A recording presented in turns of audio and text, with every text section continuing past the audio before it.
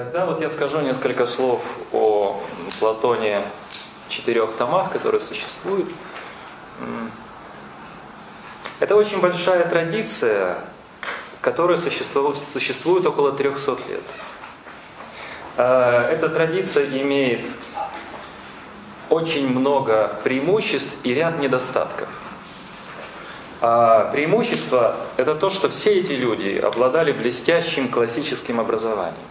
Так случилось, что в Российской империи по образцу империи прусской и габсбургской очень большое влияние уделяли классическому образованию, начиная с гимназий.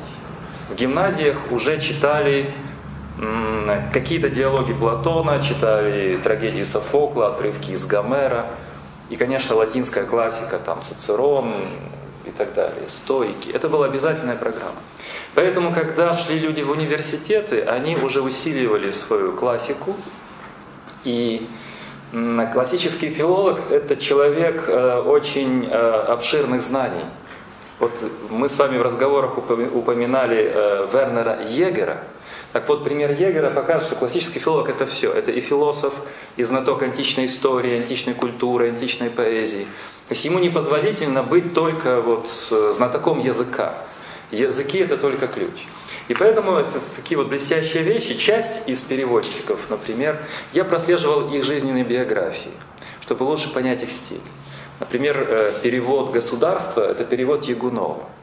Я когда о нем прочитал, это очень интересная история. О человеке, который был э, родным братом морского офицера до революции, который был блестящим поэтом и писателем, написал несколько блестящих романов, провел в сталинских лагерях значительную часть своей жизни в 30-х годах. А в 1945 году бежал в Западную Германию. Некоторое время был переводчиком у советских танкистов в Берлине, когда советские власти вошли. И после этого он бежал в Германию, и здесь вот союзники еще были со Сталином как бы в друзьях и выдали Ягунова обратно совет, советским властям. И он снова провел в лагерях еще 10 лет. Его мечтой был Платон, его окрылял Платон. У него была мечта перевести как можно больше диалогов Платона. Он их начал переводить еще с конца 20-х, начала 30-х годов. И в этот четырехтомник входит несколько его переводов, но самое главное – это государство. Какой минус? А, минус в том, что все они блестящие филологи, но это разные переводчики. А, русский четырехтомник собрал разных переводчиков. Поэтому очень трудно проследить а, в целости, целости, закономерности терминологии Платона. Те же самые термины Платона, оригинала, переводятся по-русски по-разному, потому что переводчики разные. Это, кстати, с Аристотелем история та же самая. В результате человек, который не читал на других иностранных языках Платона и не читал в оригинале Платона, ему трудно собрать картинку, потому что непонятно, в каком фрагменте о чем идет. Вот э, я приведу только один пример. Диалог Горгий, очень важный диалог, где Сократ говорит о том, что для нас э, наиболее важны две вещи для нашей души, для того, чтобы владеть собой. Это справедливость и там в русском переводе воздержанность. Воздержанность. Вот когда мы смотрим на слово воздержанность, очень красивое слово. А, когда я впервые читал в конце 80-х, начале 90-х, а, я посмотрел, что это за слово, а, а там софросина. А в других э, диалогах это совсем другое русское слово. Это иногда э, рассудительность, Иногда нам Лосев предлагал вообще переводить как целомудрие, если бы русский язык не зафиксировал за целомудрием только очень узкое значение быть целомудренным. Ну, буквально это целостная мудрость. Да, И вот это показывает, вот если бы кто-то решил исследовать теорию Софросина в диалогах Платона, опираясь на русский перевод, он бы не смог собрать эти тексты, к сожалению, потому что это только один из примеров. Но вот я обозначил, то есть есть лучше переводы, есть хуже переводы. Но нужно, я думаю, что когда-то понадобится билингвы, двуязычие, чтобы был греческий текст, был русский текст. А украинские переводы уже есть, Э, хороший перевод мне нравится «Пир». Не то, что хороший, но э, профессиональный. Видели вы «Пир» украинский? Да. А вот кто видел, кто нет, «Бенкет». «Бенкет». Он был переведен в УКУ. В УКУ очень блестящую серию переводят двуязычных изданий. Я там э, редактировал, писал предисловие к Ансельму Кантерберийскому. А Бенкет – это был первый опыт. Перевела классический филолог из Львова Уляна Головач. Уляна Головач. И интересно, что на основании этого перевода во Львове в театре было поставлено спектакль. И это все происходило, как бы Платон оживал, это очень все прекрасно. А предисловие к э, пиру, украинскую бенкет, написал Джованни Рааль. Это очень хорошее введение в тематику пира. А есть, конечно, другие переводы, но не более старые и без э, греческого, без комментариев. Держава и еще ряд диалогов. Мы как-то на отдельном занятии об этом поговорим вообще, украинском Платоне. Ну, я теперь перехожу к своим э, темам. Вначале э, мы договаривались, если вдруг у вас будут возникать вопросы, может, в течение недели вопросы, мы можем или начать с них, или потом в конце оставить время для вопросов. Подумаем, как нам будет удобнее. А, если сейчас нет вопросов, если вы будете потом на протяжении задавать занятия. Можно один? Да, пожалуйста. А, скажите, пожалуйста, в прошлый раз вы обосновывали тезис, что каждый человек по природе философ. А как вы понимаете для себя, если это очень лично, ну, э, с- цель философии? И как вы объясняете людям цель философии?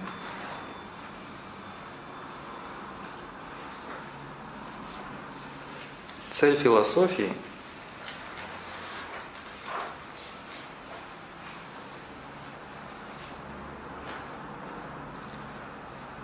я сейчас скажу своими словами, а потом словами Платона. Цель философии – реализовать своего внутреннего человека, реализовать самого себя как можно более полно. В каком-то, вот у нас была беседа когда-то с Алексеем Арестовичем э, отдельная, и я э, переформулировал слова Бродского. Э, поэт Бродский сказал, что поэзия – видовая цель человека. Потому что мы все пользуемся речью, а поэты – мастера речей. Но мне кажется, что философия – видовая цель человека. Потому что э, за речью стоит мысль, сознание. И главная задача человека – вести сознательную жизнь, вести сознательное существование, осмысленное существование. В этом единственное может помочь философия. Вот сегодняшняя наша тема будет тоже об этом. А теперь словами Платона. А, По всем диалогам, и вы это знаете прекрасно, но это остается тайной, на эту тему существует много исследований, но это не проясненная проблема. Проблема э, сократовского дайма.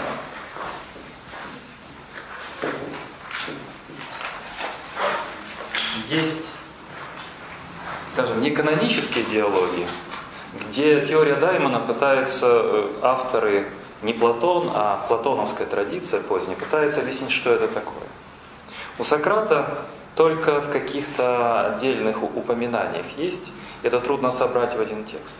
Но теория Даймона работает в связи с э, э, изречением «знай себя». Мы сегодня будем об этом говорить. А, несколько диалогов обыгрывают эту дельфийскую надпись. Потому что у нас это осталось от античности как крылатое выражение «познай самого себя». Но с греческого буквально «знай себя». И платонизм, э, Платон строит свою философию вокруг понимания того, что такое вот это сам себя. Кто такой этот сам? Кто такая эта моя самость? Эти мотивы мы находим как в апологии Сократа, так можно найти стержневые линии, где теория «знай себя» постоянно проходит. Например, я могу провести такие линии. Это Алкивиад 1, сегодня я упомяну. Неоплатоники считали это вступлением в философию Платона. Это Хармит, где на примере «Зная себя» впервые традиция философская осмысливает саморефлексивность, умение взглянуть на себя, умение себя увидеть. И вплоть до зрелых поздних диалогов. Это теория себя, теория самопознания, теория сознательной жизни обыгрывается. А Даймон Сократа приводится как пример. Точно так же, как в апологии он говорит, что Бог избрал меня в качестве примера. На одной из лекций по личной философии я об этом говорил подробнее, сейчас не буду об этом говорить. Так вот, в диалоге теней, где вообще-то как такового диалога нет, там такие очень большие описания, а Платон обыгрывает даймон и слово греческое «счастье» – «эдемуния».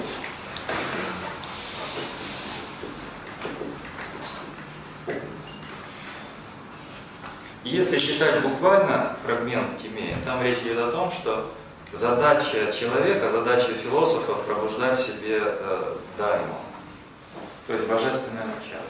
А божественное начало это и есть внутренний человек, это и есть наше я, которое проходит через все диалоги Платона.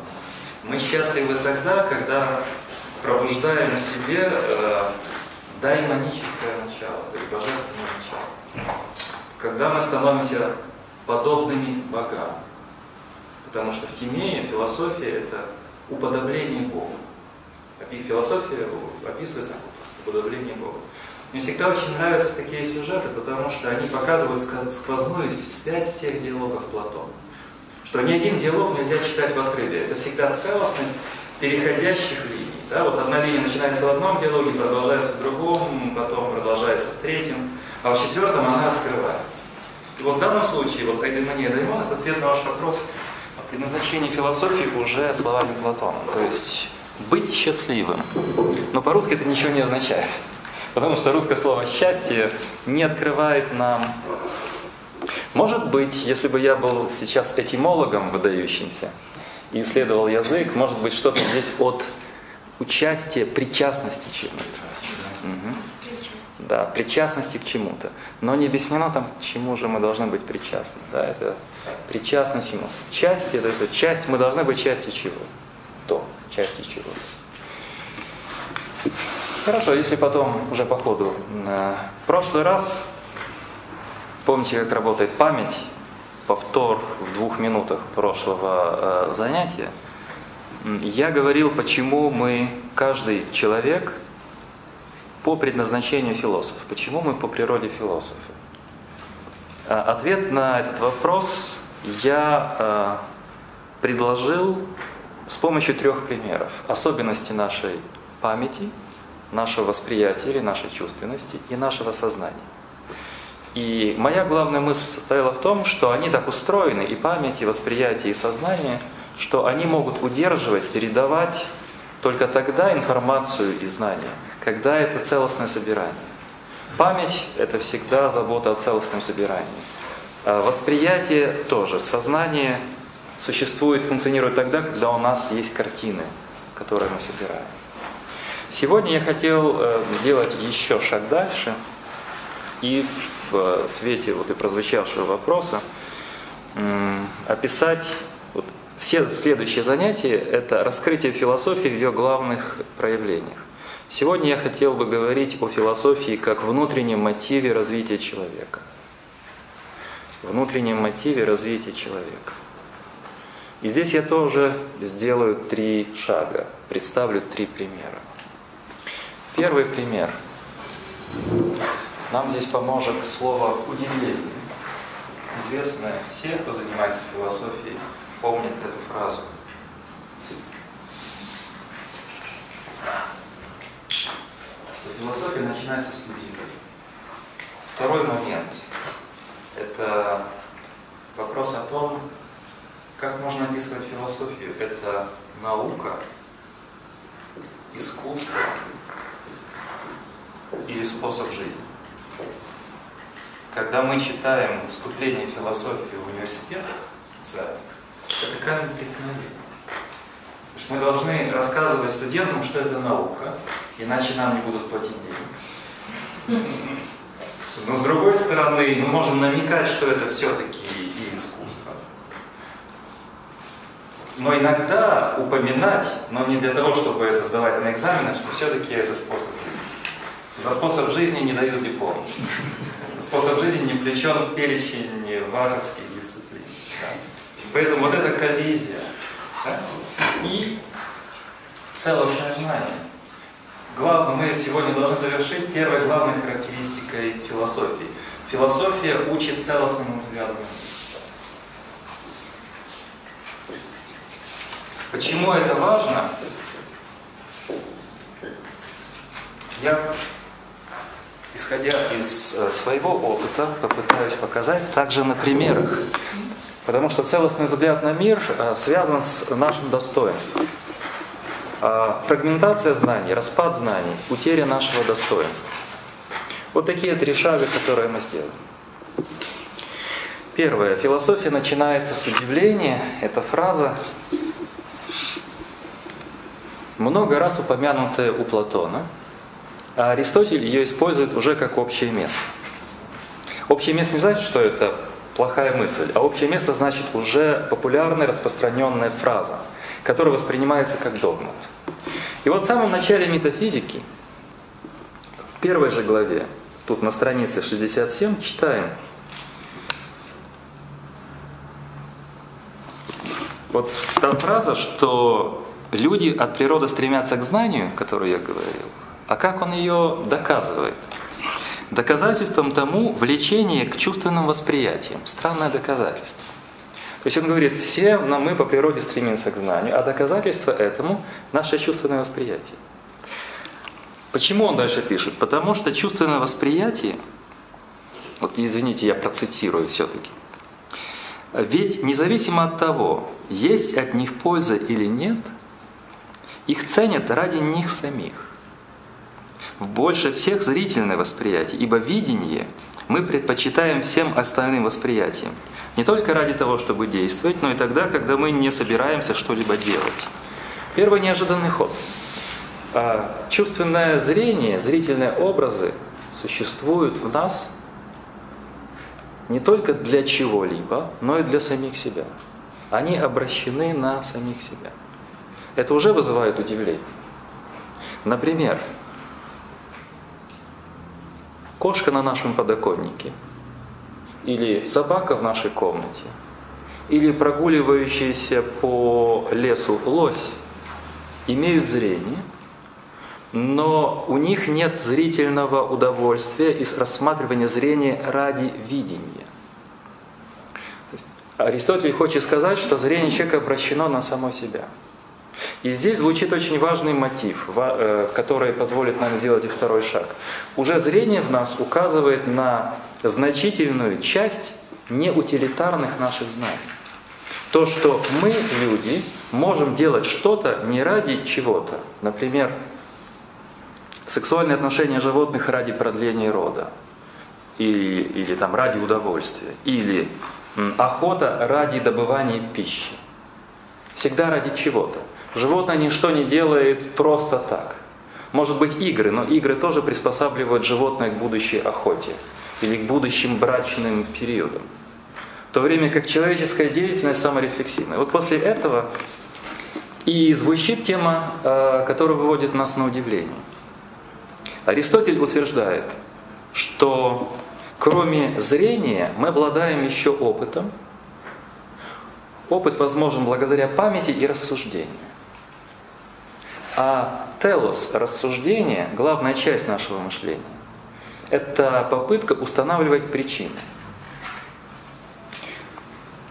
То есть мы с вами спрашиваем о причинах. Мы с вами существа, которые спрашиваем почему.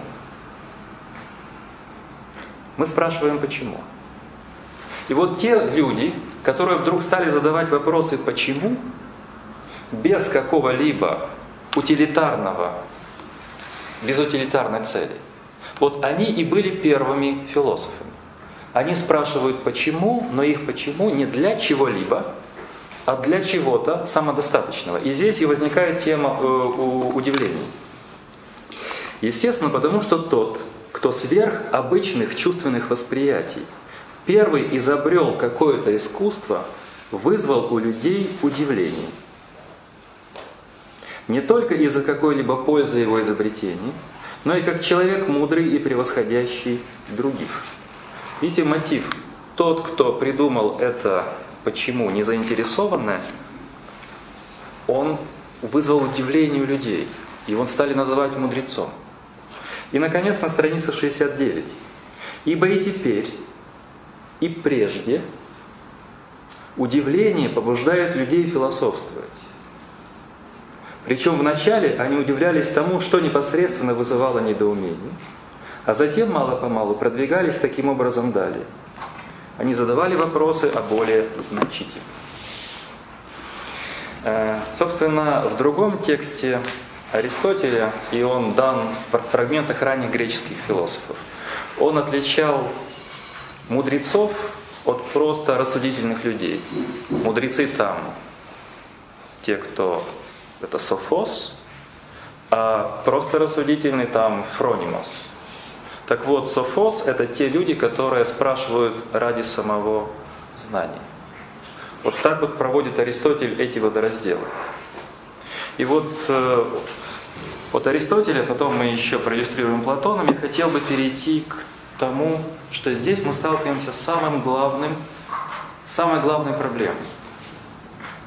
Мы это все повторяем с такими радостными лицами. Философия начинается с удивления. А философия – это занятие не утилитарным, не то ради чего, не для чего. Но возникает, когда мы удивляемся вопросу.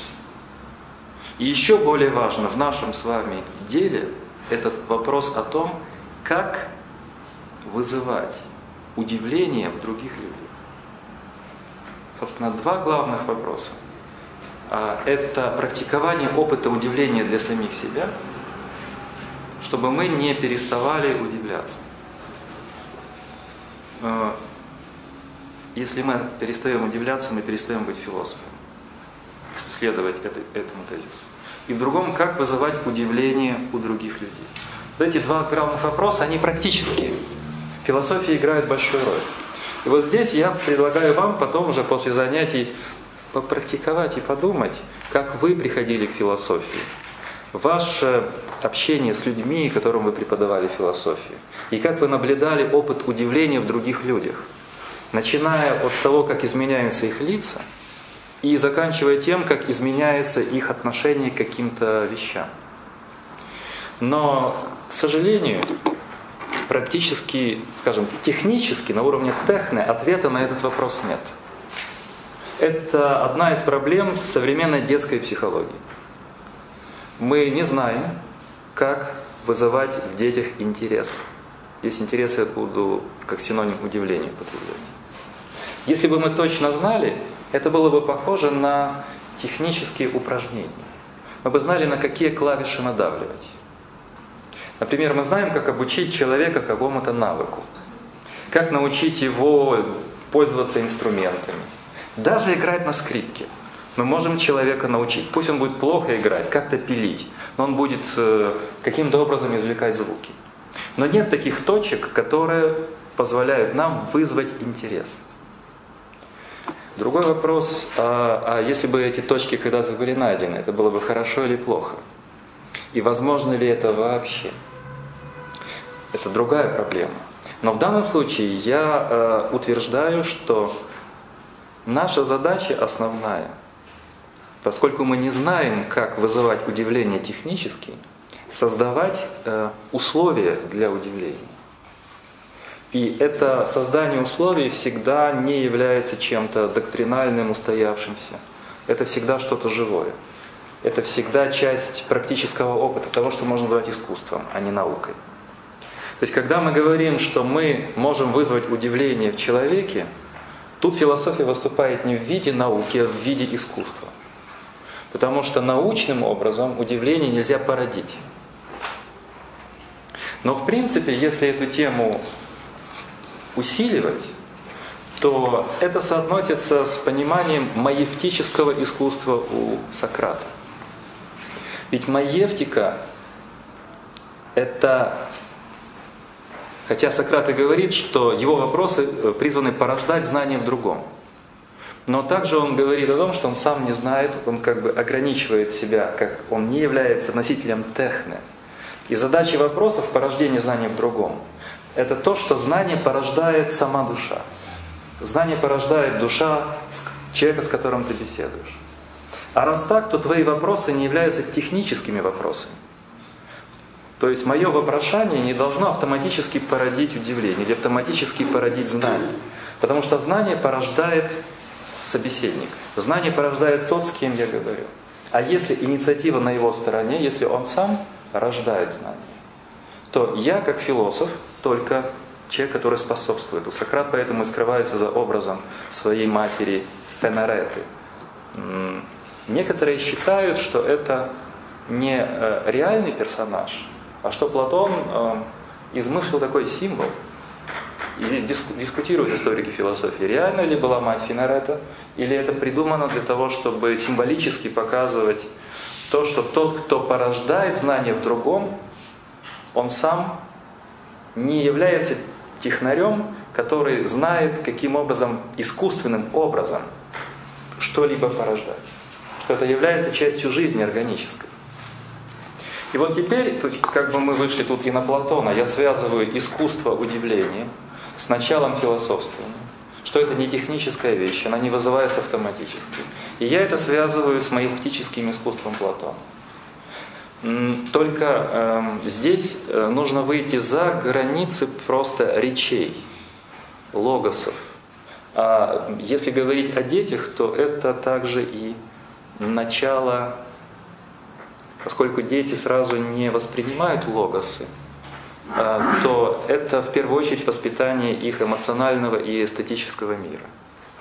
Вот если себе измыслить систему образования философского с трех-четырех лет, то в первую очередь это идет постепенное воспитание чувств, эмоций, подготовка к тому, чтобы потом подключилось мышление, подключилось сознание. Если говорить о детском преподавании философии можно чуть-чуть в это, скажем, понятие знания у Платона.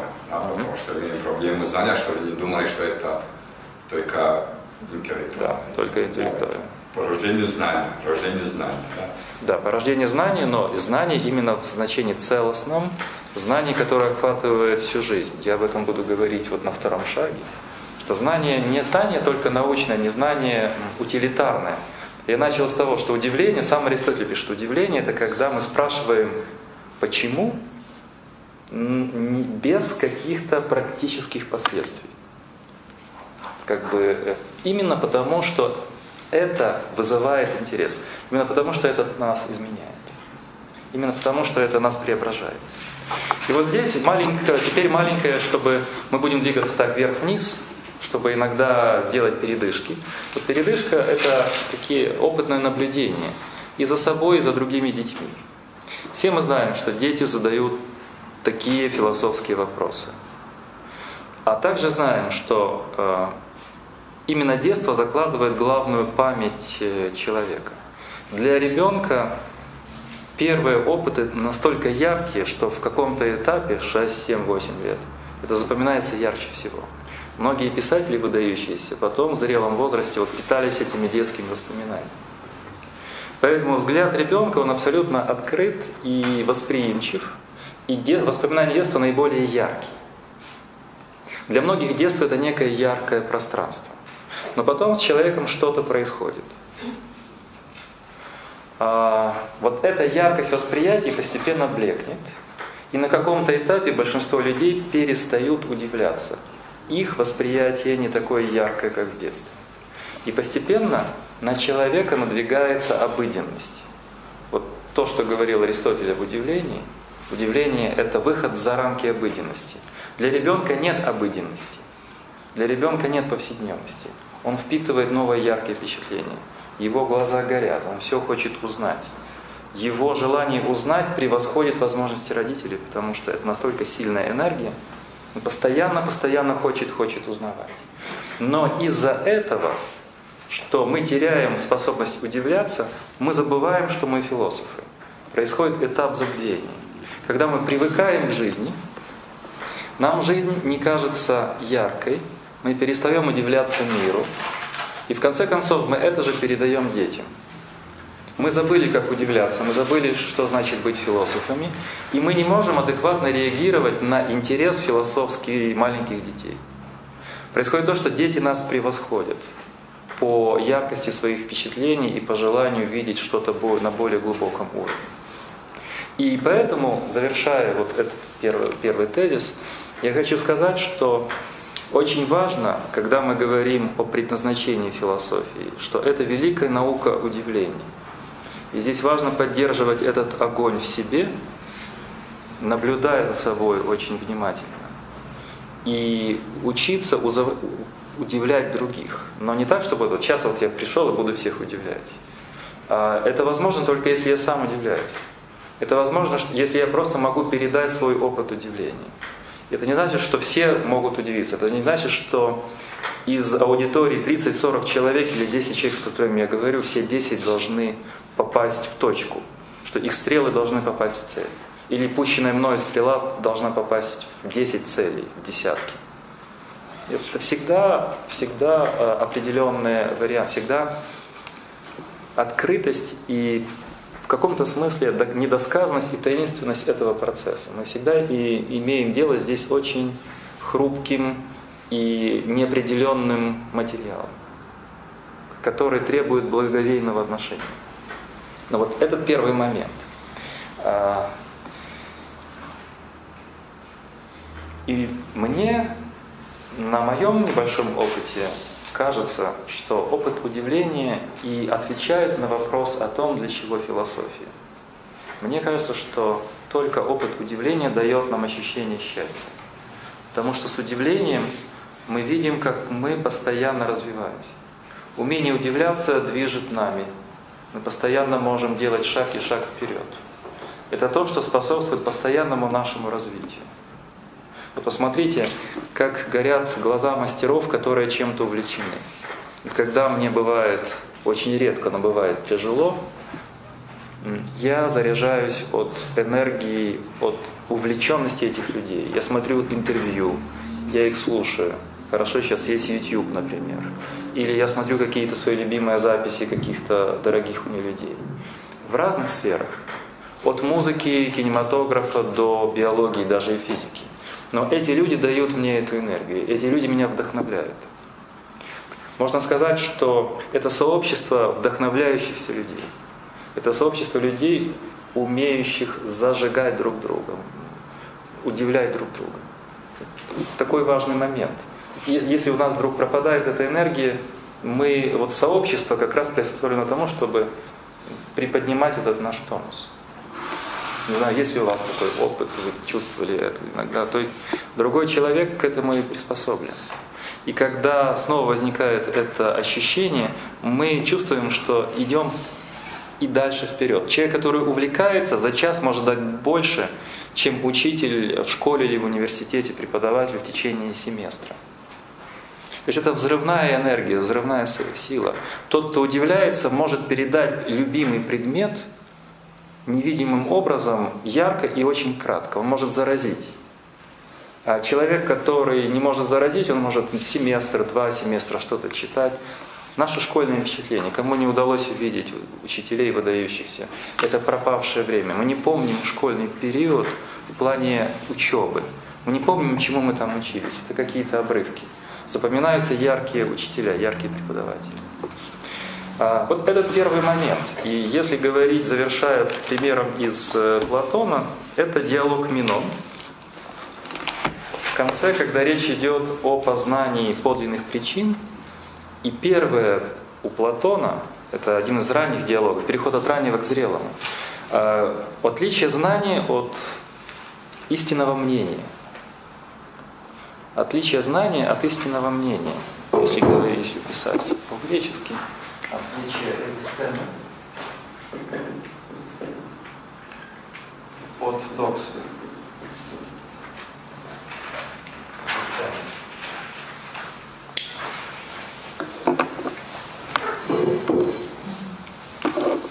В чем это отличие, пытается Сократ показать Минону.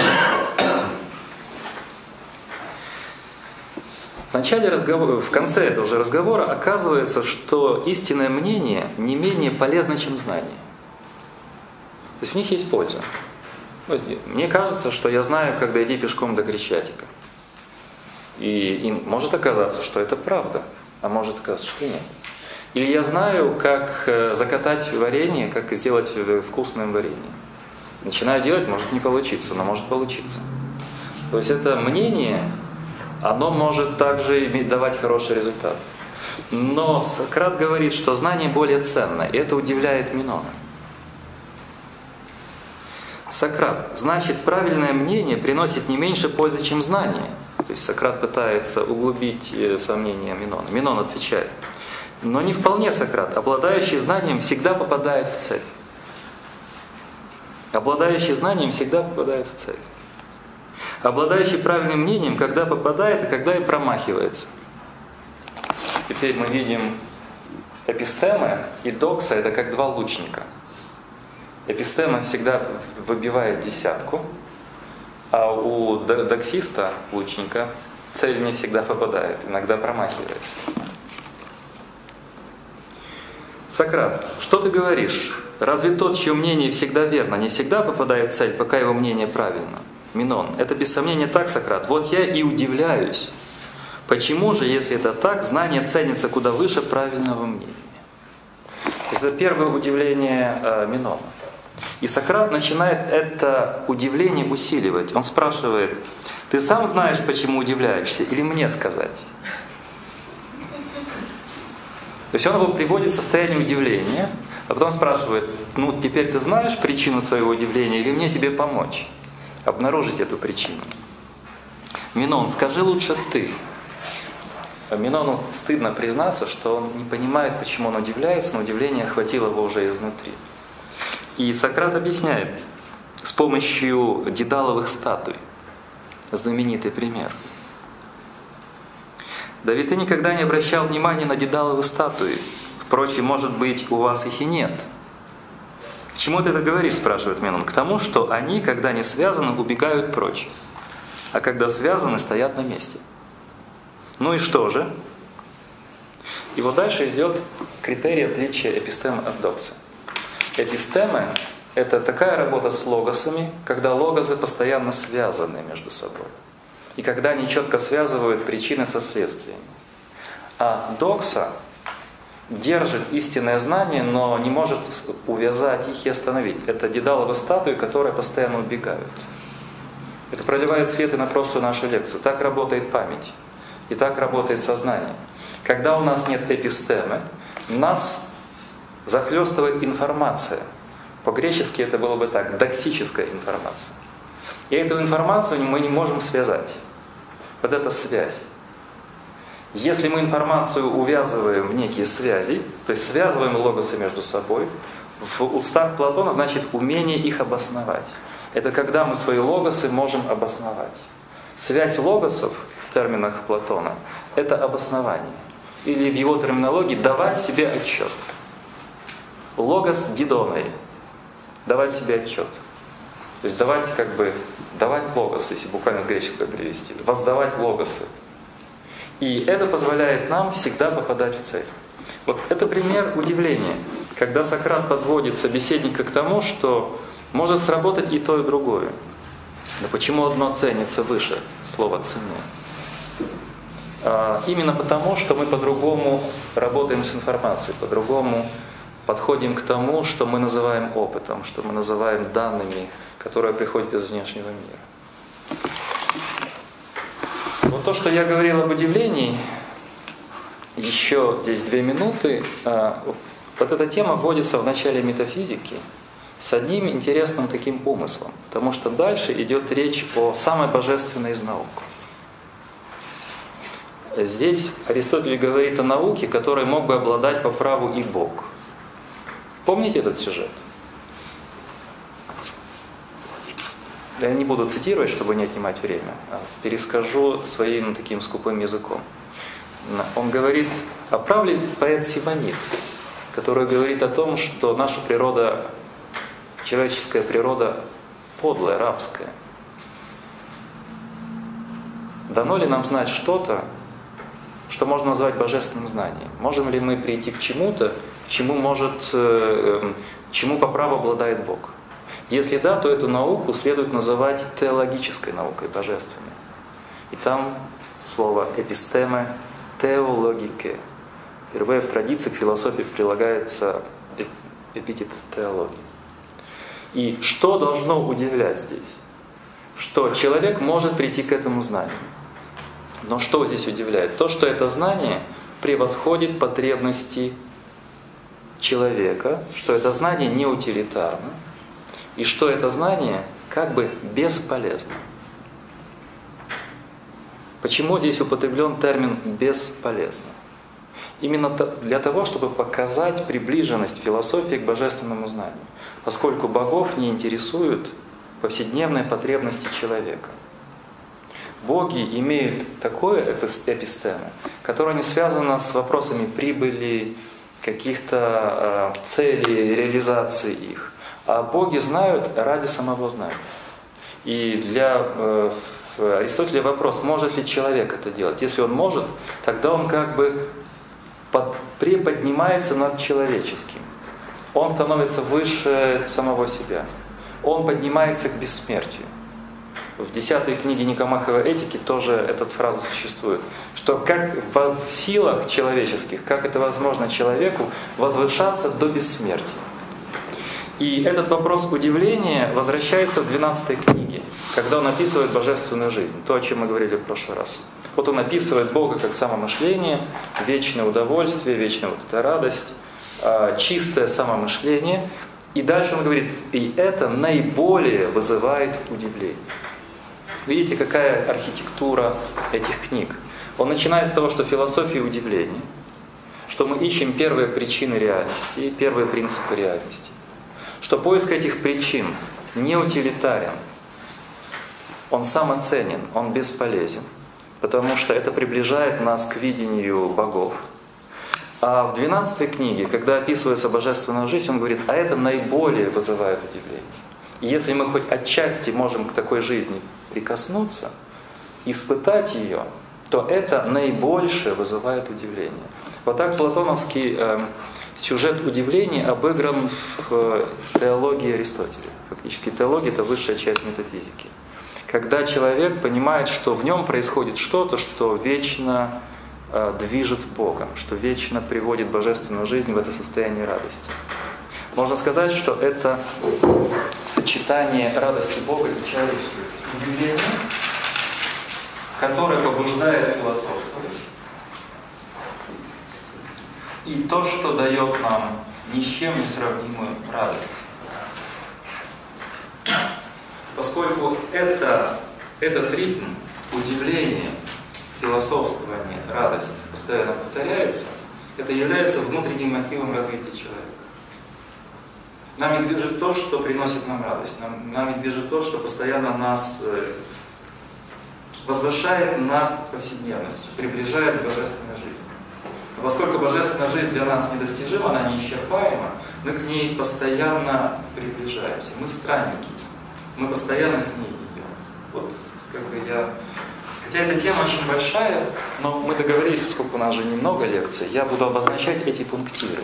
Моя задача была показать, что в античных текстах эти идеи начинаются, но они является ключом ко всему, к детской психологии, к началу философствования, к тому, как мы живем, и к тому, как мы можем поддерживать себе этот огонь. Как только перестаем удивляться, блекнут наши глаза, нас захватывает повседневность, нас захватывает эта серость. То есть это борьба с повседневностью, борьба за постоянно свежие, яркие впечатления. Вот первый момент, который особенно важен. Ну и теперь мы э, можем продвинуться дальше. Если у вас вопросы, может быть, уточнения. Да. А, ну, вопрос по поводу эпистема, мы вчера это обсуждали. А, а какое у греков отличие эпистема, ну это первая часть вопроса, эпистема и гносис. И какое сейчас отличие между гносеологией и эпистемологией? Угу. Начну с э, последнего вопроса. Э, дисциплина возникала гораздо позже. То есть теория познания есть у Платона, у Фома Аквинского, но как отдельная дисциплина это 18 век. К примеру, Кант и послекантовский период. И для того, чтобы эту дисциплину обозначить, а немцы были главной философской нацией в новое время, вплоть до конца Второй мировой, когда англосаксонский мир заместил немцев. Так произошло. В результате двух мировых войн приоритет Европы перешел к англосаксам. Так вот, немцы заразили Запад главной наукой теории познания. По-немецки «erkenntnis-теории». А, но э, поскольку был греческий термин «гносеология», то уже в позднеантичных учебниках схоластич... Э, средневековых схоластических и в новое время во многих религиозных учреждениях существовала эта дисциплина в виде многих греческих названий. Например, ноэтика. У меня есть учебники начала 20 века схоластические, там вот ноэтика идет, да, слово мышление, ноэсис, да. Или Э, гносеология. Потому что в 18 веке, еще в 17 было модно возвращаться к греческим словам. Вот, например, возьмем Лейбница. Теодицея, он придумал термин, или монадология, монада. Или слово антология, которое возникло в 17 веке. Именно из-за моды на греческие слова. И поэтому эту новую дисциплину иногда стали называть и гносеологией. И во франкоязычной традиции укрепилась больше термин гносеология под влиянием немецкой традиции теория познания. Э, в советской традиции, которая частью наследовала немцев, э, была в основном теория познания, но и гносеология также. Мы это найдем в советских э, учебниках в разные периоды от 60-х годов до начала 80-х. Но термин эпистемология, он прижился в англосаксонском мире – и в начале, в начале века и в середине 20 века он просто означал особую часть теории познания, связанную больше с теорией науки и с философией науки. Но сегодня этот термин, поскольку англосаксонский мир э, главный, то, что делается в лучших англосаксонских университетах, э, расходится по миру как инфекция, английский язык победил, как язык международного общения, термин эпистемология заместил собой и теорию познания, и гносеологию. Если где-то он еще украинскую мову жеврии, в нашей традиции иногда гносеология, то это еще рудименты, остатки старой традиции. Во всех словарях, во всех учебниках это эпистемология. Эпистемология – это термин, обозначающий теорию познания. Опять же, это мода на греческие слова. Но англосаксы принудили всех использовать термин эпистемология. В этом смысле, извините за скучные 30 секунд, я много пишу таких вот теорий, таких вот текстов, а, и употребляется термин эпистемический и эпистемологический. Эпистемический – это тот, что относится к эписте... э, имеет э, значение знания. Там эпистемические акты, эпистемические э, там, э, чувственные или интеллектуальные акты. А эпистемологический – тот, что относится к дисциплине эпистемологии например, эпистемологическая постановка вопроса, да, или эпистемологические проблемы, то есть проблемы эпистемологии. А эпистемические это то, что относится к знанию. Вот это вот различие. А если же говорить о вашем вопросе отличие гносис от эпистемы, этот ответ требует отдельных занятий. Я принесу в следующий раз несколько словарей античной философии. У греков много слов, обозначающих познание не только гносис и эпистема. Это еще, это пару десятков терминов. Пару десятков терминов. Вот помните, я вам в прошлый раз говорил, вот все люди стремятся к знанию. Тут эйденай употребляется. То есть еще, еще один глагол. И еще много-много других глаголов. А, я уверяю, что это где-то 30-35 э, слов разных. И можно сказать, что если читать Платона, так случилось, потому что у греков не было переводных текстов, они не переводили, они создавали, и вот в первых лекциях по античной философии я об этом говорю, они создавали терминологию из обыденных слов. Это самое сложное и непонятное мастерство. Они придавали обыденным словам научного значения. И поэтому диалоги Платона – это большая лаборатория, вот это таинственное волшебство. Платон, как волшебник палочкой, придает словам обычным научного терминологическое значение. И так получилось, что именно в диалогах Платона эпистемы стало употребляться самим Платоном как главное э, слово, обозначающее познание. То есть это слово, которое вбирает в себя другие иерархические понятия. Когда мы говорим гносис, когда мы говорим другие слова, они включены, сам Платон сделал эпистемы четким обозначением главного понятия знания. Почему он это сделал, это уже отдельное исследование. Но здесь мы как бы можем идти за Платоном. Получается, что в его диалогах эпистема – это главный термин. Там, где эпистема противопоставляется мнению или другим сферам, отличным от знания, всегда употребляется эпистема. Парменида, вы помните, вообще аллетая была истина. Но вот Платон сделал эпистема главным термином. А, поэтому, отвечая на ваш вопрос за секунду, можно ответить так. Отношение эпистемы к гносису – это отношение более универсального понятия к более частному. Гносис – это более частно. Да. Или отношение, скажем, более специально общего понятия познания. Но агносис может вообще выходить на другие сферы. Гносис не обязательно теория познания. Гносис — это очень разные сферы. Они могут быть к памяти отнесены, к опыту могут быть отнесены. То есть в вопросах познания эпистема вбирает в себя гносис. А в других темах гносис может играть очень-очень-очень большую роль. Например, у гностиков мы говорим, да? Вот гностики э, третий век, второй-третий век нашей эры, например. У них гносис было синонимом вообще жизненной практики мудрости. Это главный центр э, спасения человека от оков тела и от, скажем, связи с, со злом. Гносик это тот, кто обращает знания в целостную жизнь. То есть это разные контексты. А вот так бы я мог ответить. Есть еще вопросы, может быть? Тогда очень кратко сделаем второй шаг. Что же философия? Наука – искусство или способ жизни? Вот, а, забегая вперед, отвечая на... Я отвечаю и то, и другое, и третье. А именно поэтому, вот есть Сокровищные красивые слова, это ему имя.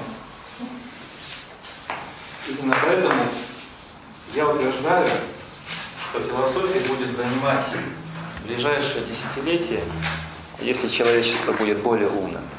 Если оно будет более инертным, то может быть лет через 70-80. Это будет главное занятие всех людей. Потому что за философией большое будущее. Сейчас я попытаюсь это объяснить. Почему? Потому что я, поскольку мы платоники, я буду использовать геометрический пример. Обозначим философию как центр окружности.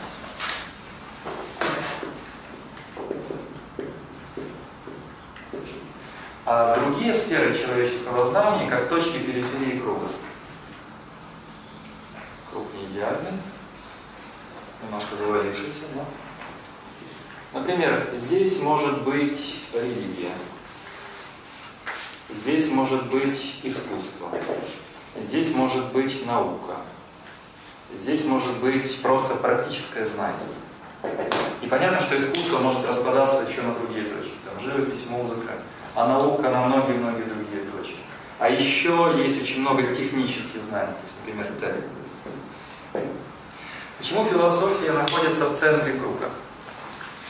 А что значит платоновский пример круга и точки периферии? Это значит, что от круга, от центра круга существует связь со всеми точками периферии. Это значит, что центр связан со всеми точками и определяет их, определяет их поскольку ножка циркуля фиксирует в центре и описывает круг. Почему в центре? Потому что философия обладает всеми языками и может соединять в будущем знании человечества все достижения человечества в некую целостность. Я приведу несколько примеров. Религия, наука и искусство. Язык философии, с одной стороны, очень близок языку науки.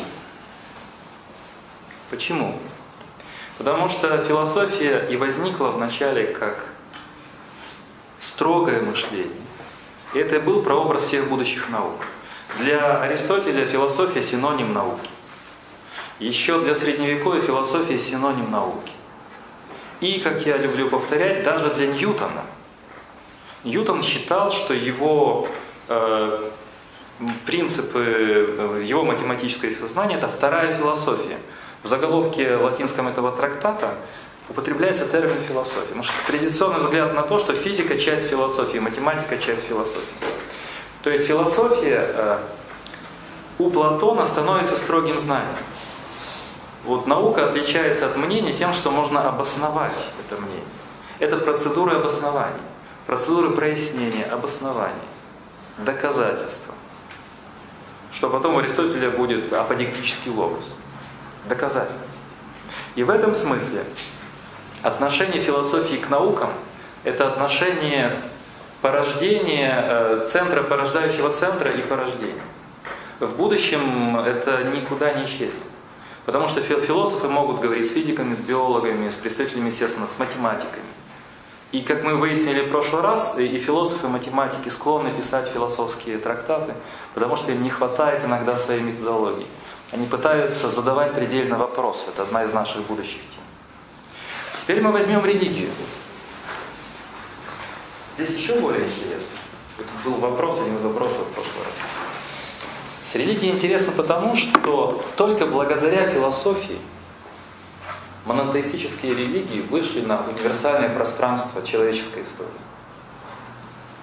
Без философии христианство и ислам не стали бы такими универсальными силами. Вся христианская догматика формируется под влиянием философской терминологии. Уже Первый Никейский собор 325 года использовал философский термин «единосущий».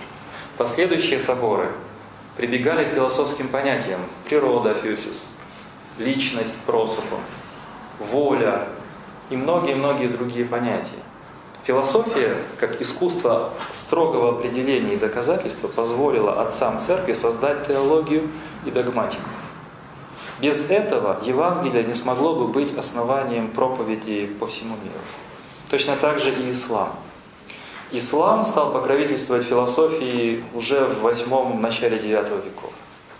Правда, путь фальсофа был пресечен в конце XII века. Но вот эта философская прививка от 9 до 12 века четко прослеживается, где Аристотель, не платонизм, то, что определяет отношение теологии откровения к человеческому разуму. Точно так же в иудаизме. Иудаизм, особенно раввинистический период, это схоластическое образование – Искусство ведения диспутов, искусство ведения дискуссий, обучение учеников через вопрошание и ответы. Это сократовская практика. Я сейчас скажу какую-то такую очень теоретическую вещь, но я бы сказал так, в основании раввинистической науки маевтическое искусство Сократа. Без маевтики Сократа не было бы раввинистической мудрости, раввинистической школы. Это искусство вопросов-ответов искусство вопросов-ответов. Поэтому э, философия обеспечила религиям их место в мире. А есть некоторые религии, которые вообще больше похожи на философию. Буддизм, например. Буддизм – это религия без Бога фактически. Буддизм – это просто философия. Здесь вообще стирается граница. Получается, что, ну, если есть в современном мире, вы знаете, философия религии, на религоведении и так далее, и так далее, и так далее, они показывают на то, что э, философия делает возможным диалог религии с миром. Точно так же, как философия делает возможным диалог между учеными и миром.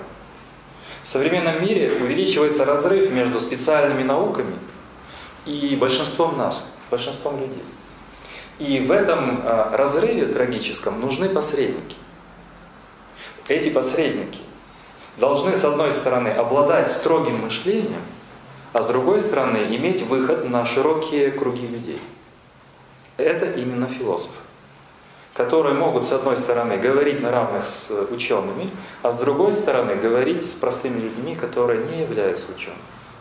И, наконец, искусство. Я привел только три примера. Здесь то же самое.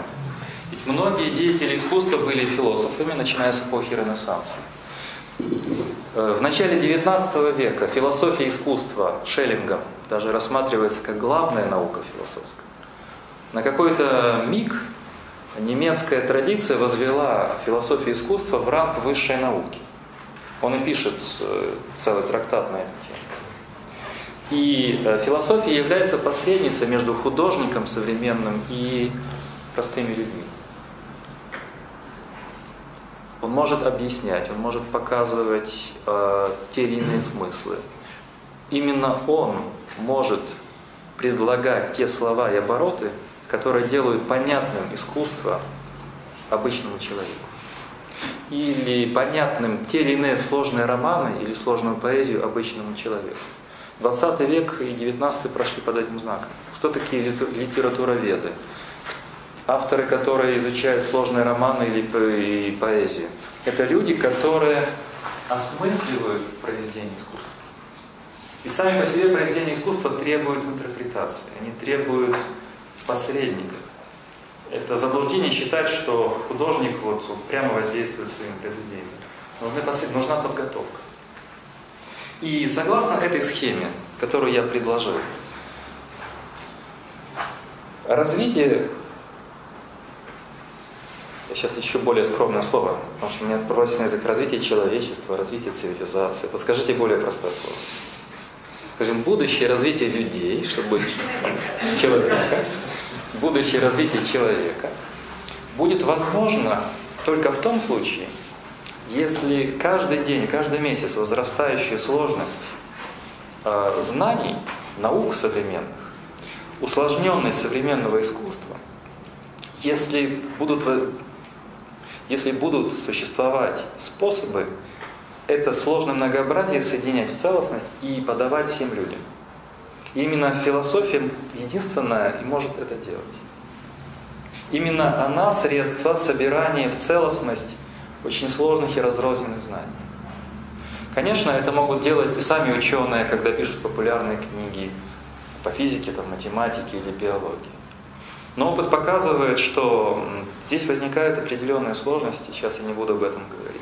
Нужна философская подготовка. Помните в прошлый раз, чтобы не делать э, быстрых шагов от каких-то утверждений к далеко идущим следствиям, например. Какие-то данные нейрофизиологии, э, а свободы воли не существует, и я не существует, и сознание не существует. Вот к этому склонны многие естественники, э, многие ученые.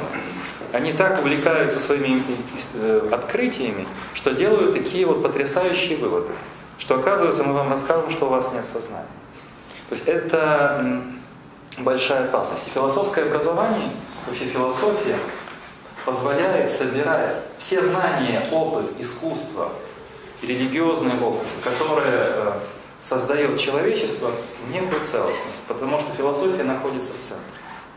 Она находится в центре исторически, потому что из философии все возникло. И оно находится на уровне содержания сегодня в центре. Потому что философия – это посредник, который связывает языки религии, языки науки, языки искусства языки практических умений каждого человека. Если философию отрицать и убрать ее, то в таком случае все будет разрознено, фрагментаризировано и похоже на зеркало, которое разбили тролли в начале «Снежной королевы» Андерсона когда зеркало разбивается на мелкие части, и у нас нет картины мира, у нас есть мелкие э, осколки зеркала, которые не позволяют нам ничего увидеть. Возникает некий распад. И завершая этот второй момент, что я контролирую время, э, хочу сказать, что почему э, трилемма наука, искусство или образ жизни на самом деле ложная триллема. А философия может обращаться и быть для тех, кто жаждет строгого доказательного знания наукой, но одновременно на втором шаге, предлагая этим людям также и понимание философии как искусства, а мы видим, что порождение знания в другом – это искусство. Не может быть вызвано техническим образом. Многие философы обладали блестящим стилем изложения и даже получали Нобелевские премии за форму изложения. И некоторые философы были блестящими стилистами. Могу называть много примеров. Начиная с Платона. Мы установили, что Платон великий художник. Платон великий художник. Но также и многие авторы, вплоть до Ницше, до философов 20 века.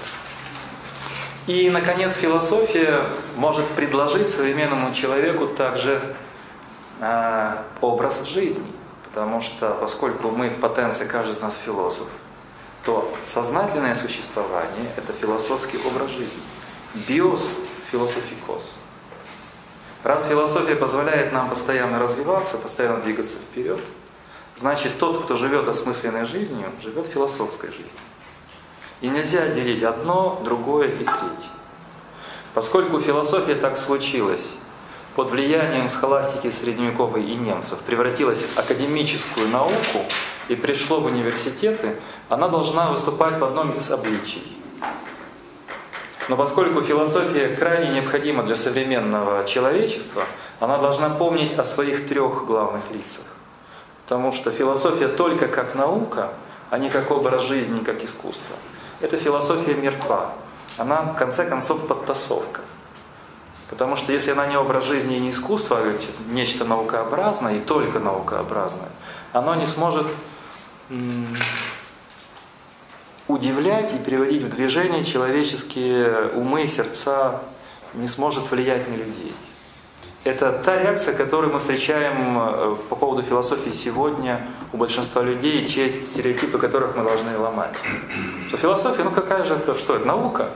Ну, я помню, нам в политехе вбивали эту науку в голову. Мы помним, это травма, травматизм с изучением философии связано. Что философию, марксизм-ленинизм подавал философию как научное мировоззрение. Хотя это было, конечно, религия, но вот научное мировоззрение. А, в конце концов, у Карла Ясперса даже есть, как вы знаете, отдельное э, произведение, которое называется «Философская вера». Ясперс был человеком, э, ну скажем так, нерелигиозным, в традиционном значении слова. Он отвергал христианство или любой монотеизм, а критикуя его за исключительность, за то, что они претендуют заменить собой всю истину. Но говорил о том, что философская вера должна заменить современному человеку религию. Он приходит к каким-то античным источникам. Но эта религия в таком варианте, который может быть ближе к буддизму, может быть ближе к чему-то другому, это религия, которая не требует от нас слепого принятия чего-либо на веру, а которая вот эту платоновскую практику обоснования логосов должна учитывать. То есть это осмысленная жизнь, осмысленное существование, что очень важно. То есть вот поэтому, исходя из этих трех вещей, и э, когда мы говорили с вами в прошлый раз, что искусство заступает место религии, мне кажется, что это место философии место философии, которое объединяет все эти направления человеческой деятельности в единый центр. Из этого центра позволяет всем нам понимать друг друга. Вот видите, как часто не понимают там ученые друг друга, например, биолог и теолог, они не понимают друг друга. Или медик и этик. А где посредники? Философ. Или юрист и этик да, или те, кто занимается экологическими вопросами, и те, кто занимается экономикой жесткой, которая ориентирована на прибыль. Здесь должны быть посредники, которые их словари могут соединить в диалог, а, в диалог вопросов и ответов. И это именно язык философии, который может быть строгим, и здесь он может говорить с экономистами, с юристами, с э, биологами, и в то же время говорить о ценностях, о духовном измерении и так далее.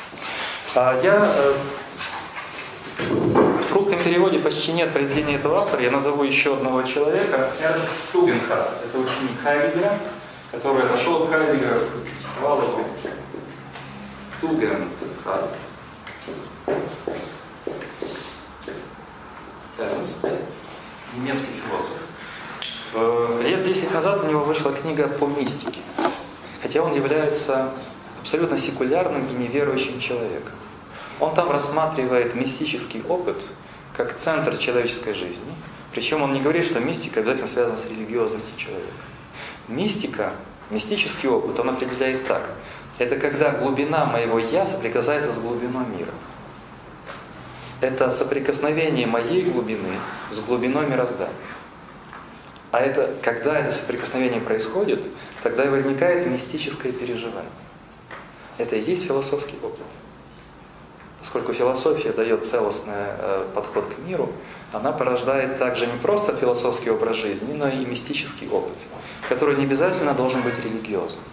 Вот об этом я еще еще раз должен подчеркнуть, что слова мистика, религия – это такие клише, которые нужно, нужно продвигать. А вот я сделал второй шаг.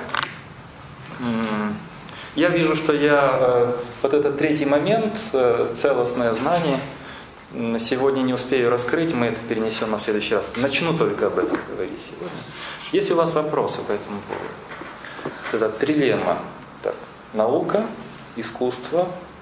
Э, отчасти я иду от первой части своей книги, от первого раздела, но его раздвигаю, как бы даю больше конкретики и больше примеров. Да, пожалуйста.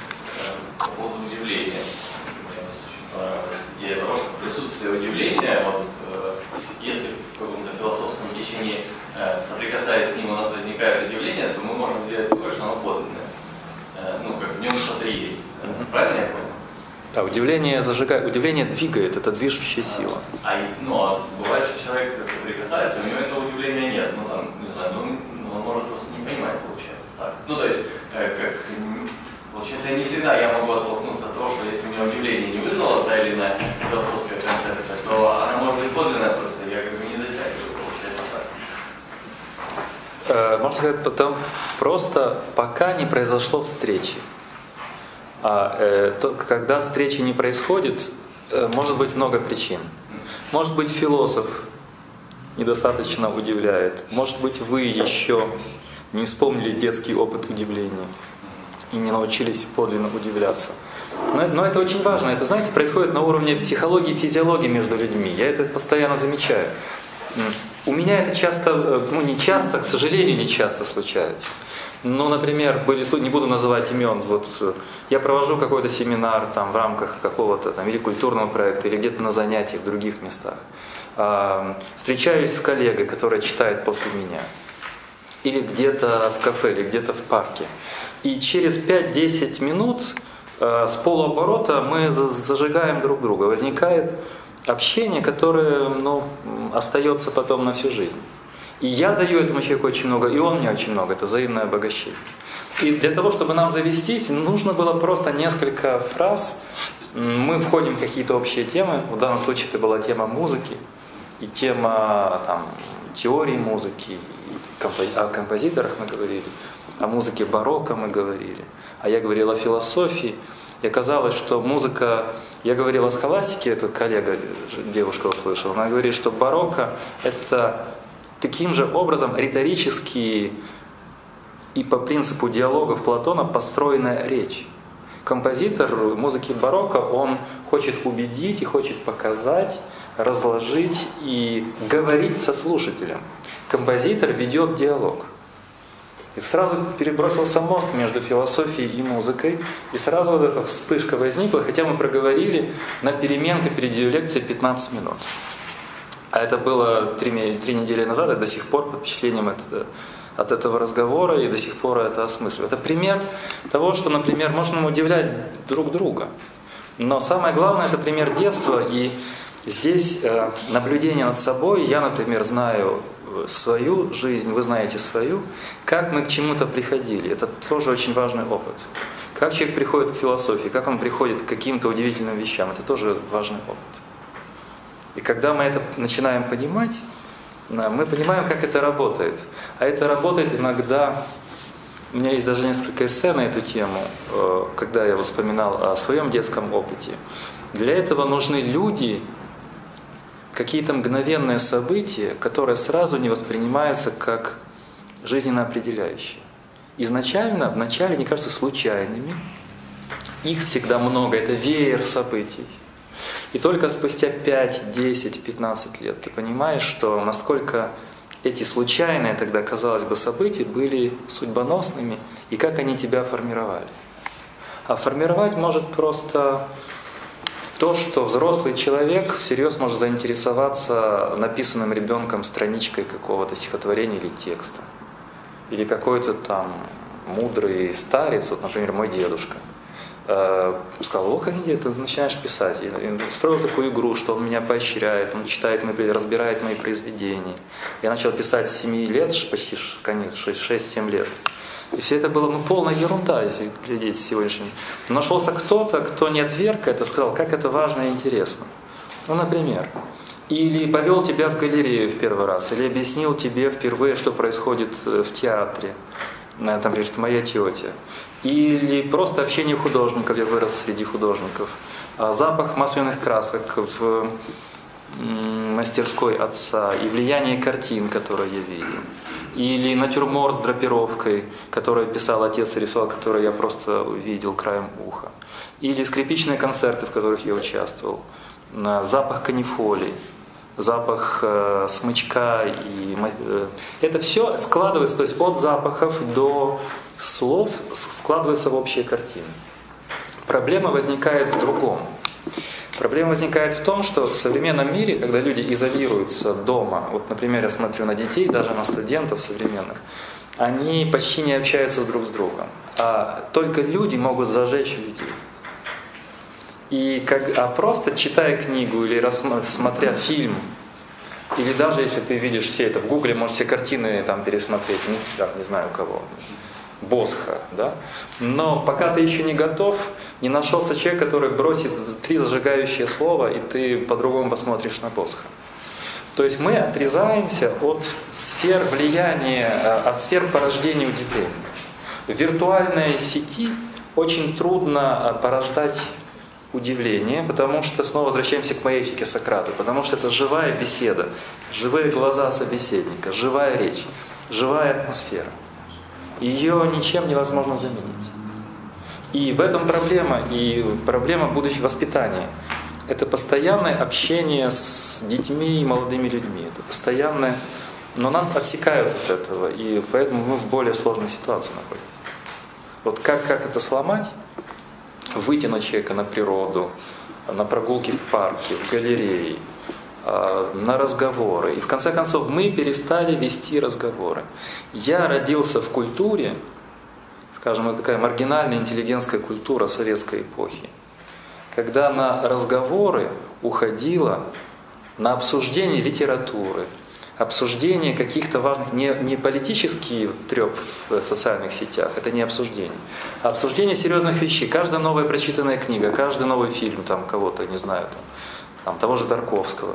Киевская атмосфера была особой. Были кинотеатры, где ограниченный был показ, фильм мог идти только там 2-3 дня, стояли большие очереди.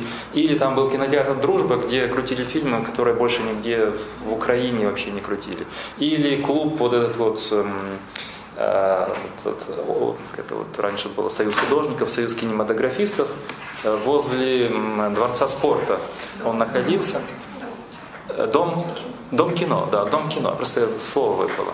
Где это, где это все тоже происходило. Или э, в доме художников давали абонементы по новейшие фильмы. Я там увидел чуть ли не первый или второй показ э, фильма, ну сейчас вот я не вспомню, киевского режиссера очень известного,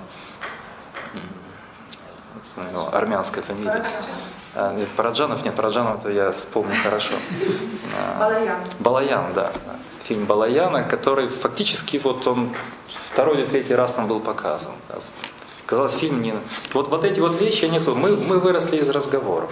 Сейчас разговоров меньше, и не понимают люди их природу.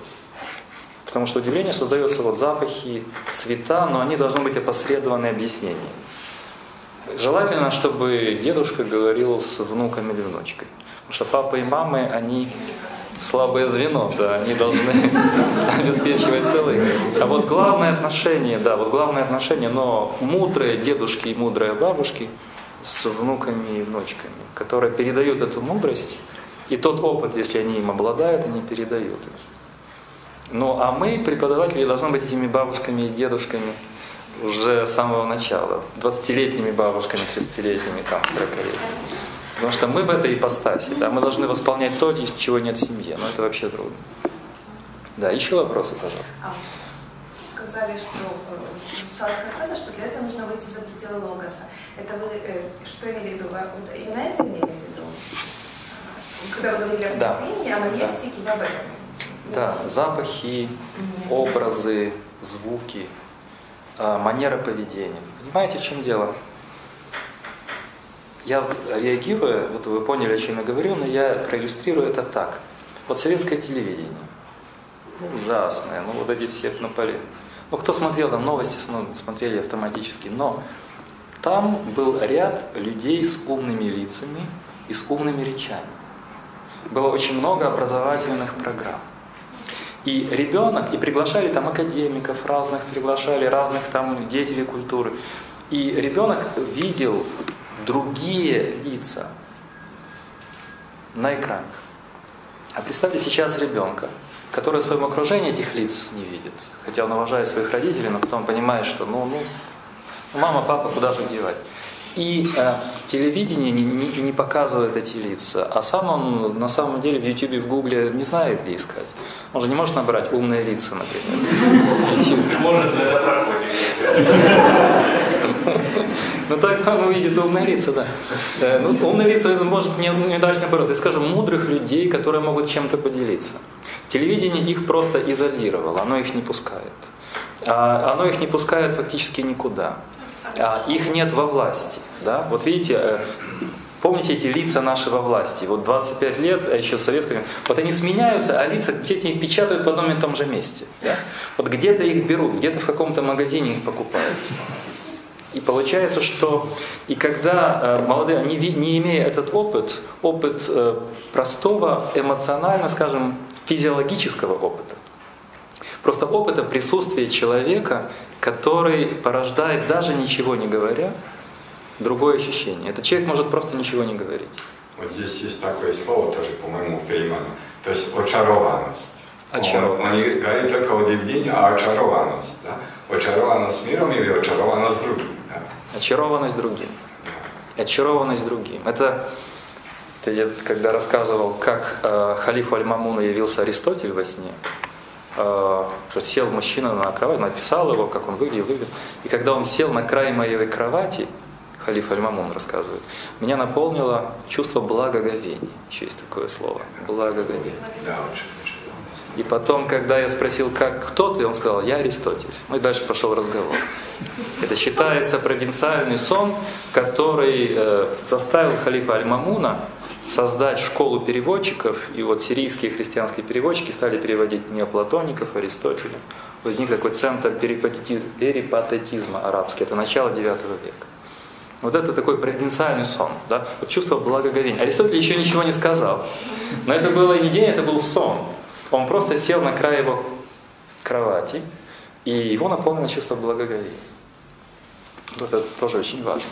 А как э, рождаются люди, дающие чувство благоговения? Только через вот этот интенсивный опыт. Это э, отражается на физиологии, на лице, на морщинах, на движении глаз, на мимике, на всем неподдельном. Когда ты видишь, что человек не играет роль кого-то, не играет роль мудреца, а он на своем опыте как бы физиологически это отразится. Он стал статуей, он стал скульптурой, он стал символом, образом такого образа жизни. И с таким человеком даже не нужно вначале говорить. У Сократа было другое. У Сократа было насколько величие, что он скрывался за комической маской. И поэтому многие писали авторы о маске Сократа. Кстати, у меня есть, э, сошлюсь и, может быть, перешлю очерк. Это наблюдение Джованни Реале, как Платон в пире прячется за одной из масок. Это не главная часть э, про именно речи Сократа, а речь совсем другого человека. И там тайное неписанное учение отражается в мифе об андрогине. Если этот миф об андрогине читать по-гречески, то там идут терминологические отсылки к неписанному учению о принципах бытия об отношении монады и диады, об отношении математической структуры мироздания. И здесь как бы Платон придумал такой жест. С одной стороны, он вкладывает Сократу в уста главную речь о пути к красоте, Сократ рассказывает о диатиме, о том, что он научил искусству любви, но свою тайную философию он вкладывает не в уста Сократа, а в уста другого собеседника, но в виде намеков э, этих вот символов и так далее. Так, может еще вопрос, так я смотрю, чтобы мы... Маленький, Да, да. Ну, может, что-то еще, да, закончить, пожалуйста. И, и просто по поводу роли философа как э, связующего звена между разными другими, э, не знаю, сказать, участниками жизни, ну, там, между Да, между, скажем, учеными, религиозными людьми, деятелями искусства. Да, есть такой момент, что он действительно может быть этим посредником, но это они его должны признавать тогда, и, и одни, и другие. Как-то в реальной жизни получается так, что они говорят, ну, ты там занимаешься непонятно чем, давай мы лучше между собой обсудим, мы-то реальные дела делаем.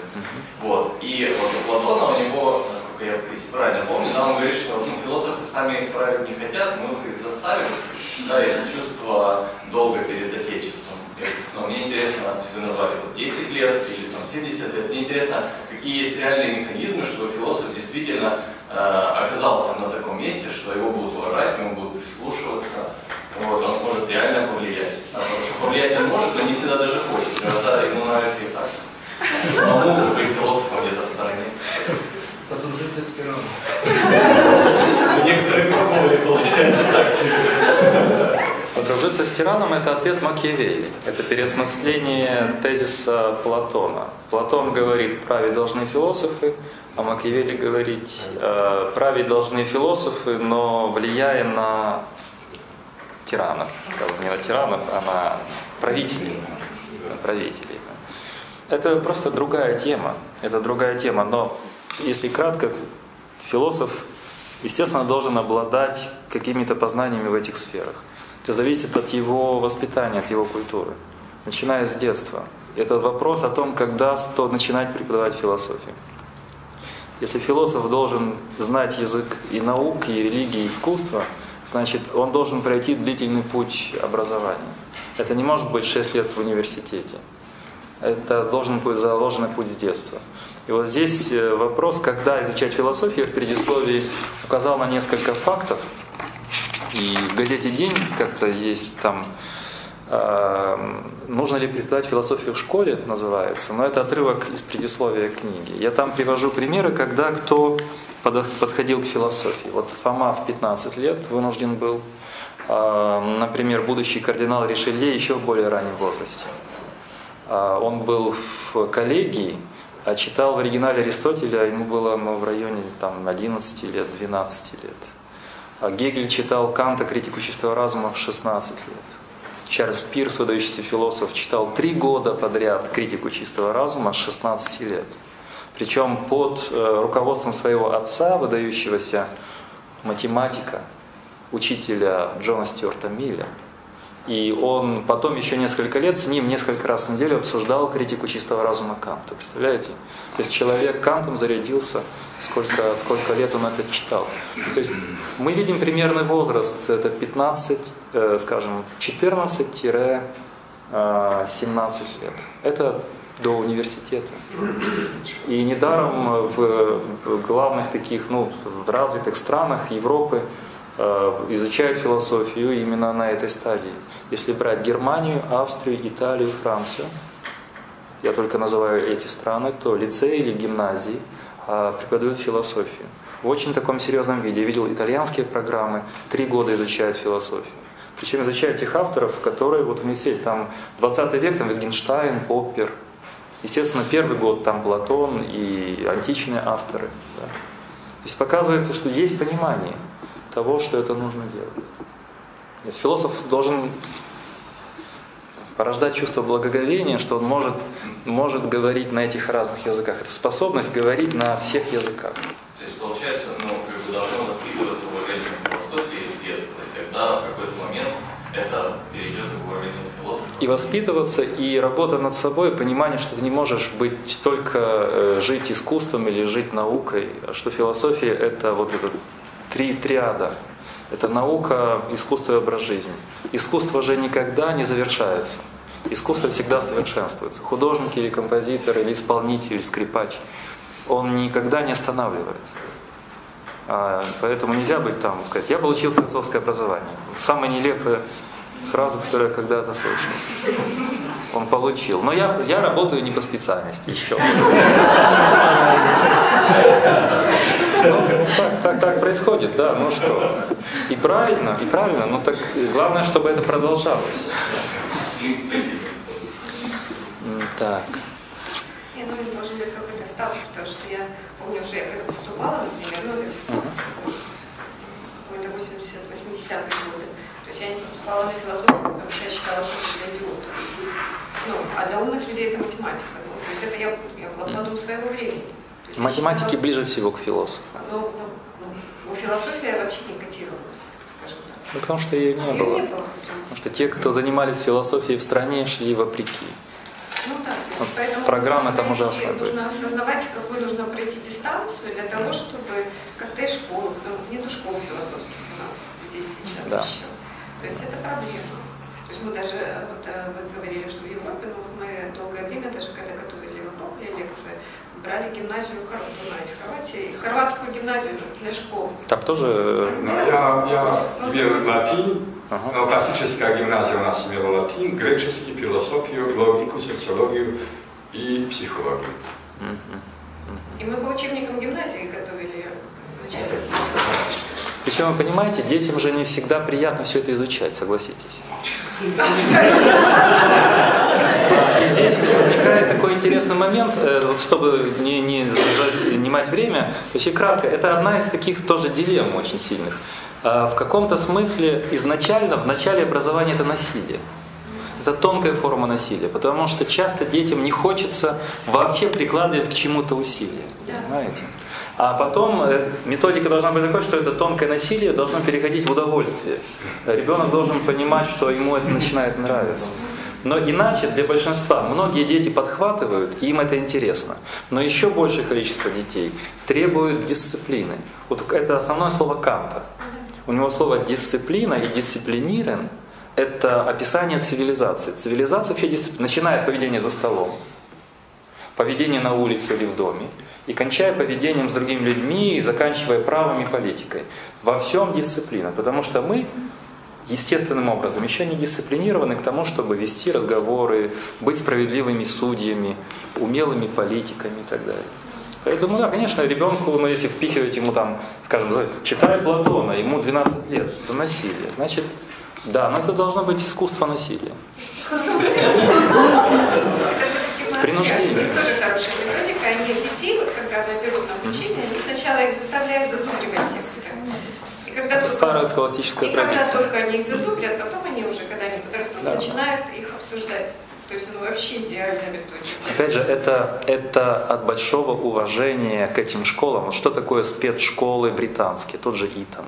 Ну, какому молодому человеку захочется утром в холод с, бел- с голым торсом делать пробежки, в грязи это регби, э, потом Цицерона читать по латыни и читать Гомера по. Ну кому это хочется?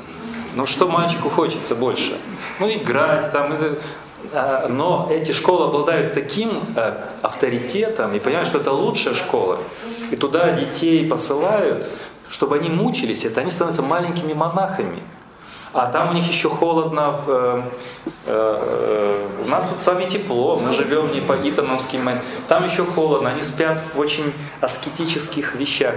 Их заставляют э, стирать различия. Если ты сын короля, если ты принц, а это просто про- другой человек, вы равны. Н- Их учат не подчеркивать свое богатство или свой род, свою родовитость. А все они живут в аскезе.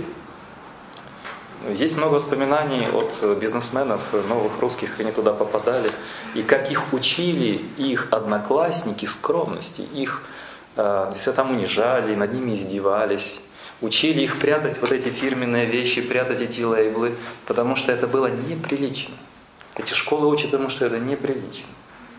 Но для этого нужно, чтобы школы обладали авторитетом. Тогда это насилие, вот мы завершаем на позитивно, не на, не на слове утонченное насилие, а на том, что насилие воспринимается как счастье, как благо, если за ним стоит авторитет и за ним стоит уважение к той институции, где будут над тобой это насилие чинить.